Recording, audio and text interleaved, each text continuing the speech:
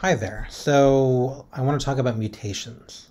Um, because in the cancer biology course, you have to understand mutations. We're going to learn a lot of different mutations in a lot of different genes. So we need to be able to talk about mutations. So these videos are going to introduce how we talk about mutations in genes that are dysregulated in cancer.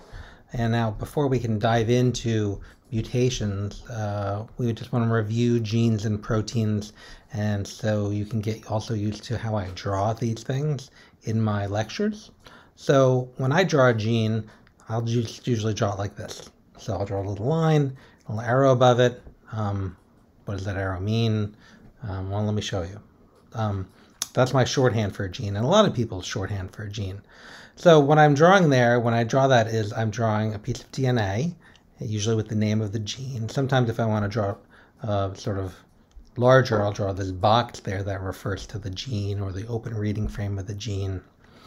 And that arrow, the little arrow upstream of the gene, that is the transcription start site. So that is where transcription begins. So you, let's you've got to remember how genes are structured, the structure of a gene. What is upstream of the gene? What is the nucleotide region upstream of the gene? that uh, helps control gene expression or gene activation or gene transcription. It is called, starts with a P, the promoter region. All right, the promoter region uh, is that region of DNA upstream of a gene. Proteins bind the prom promoter region to regulate the transcription of the gene. What are those proteins called? They're called transcription factors. There are other proteins there, but transcription factors are typically the proteins that are binding directly to the promoter, the nucleotide sequence of the promoter. And transcription factors are recruiting other proteins that will lead to the transcription of the gene. What is the enzyme complex that transcribes genes? It's called, what is it? RNA polymerase. So the RNA polymerase complex here will bind to the uh, transcription start site and it will start transcribing. And so that little arrow typically refers to where a gene is beginning to be transcribed. So in the process of transcription. You recall transcription, that is when the DNA sequence is read and transcribed into mRNA sequence. And then that mRNA sequence is going to be processed usually through splicing, and we're just going to skip over that part now because we're not going to talk about splicing. Uh, and the mRNA goes into the cytoplasm and can interact with um, machinery that will translate the mRNA information into protein information. So, what is the machinery that tr does translation called? I'll draw it here. What is that?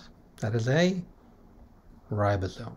Right, so they're free-floating ribosomes in the cytoplasm are also ribosomes attached to an ER, that's the rough ER. And then the ribosome will translate the information in the mRNA by reading the codons and thus producing amino acids linked together into a polypeptide chain, folds into a protein. So that is a quick review of transcription and translation and the structure of a gene. So again, when I draw a gene, I'm typically drawing that little sort of line with a little arrow above it. And so what I wanted to talk about, and we'll uh, talk about in the next video, are mutations and how mutations in genes can affect proteins. So this was a very quick introduction to structure of genes, sort of a review of transcription and translation. So in the next video, we'll actually talk about mutations, and hopefully you have read the uh, done the reading on the different types of mutations. So in the next video, we're going to see real examples of point mutations.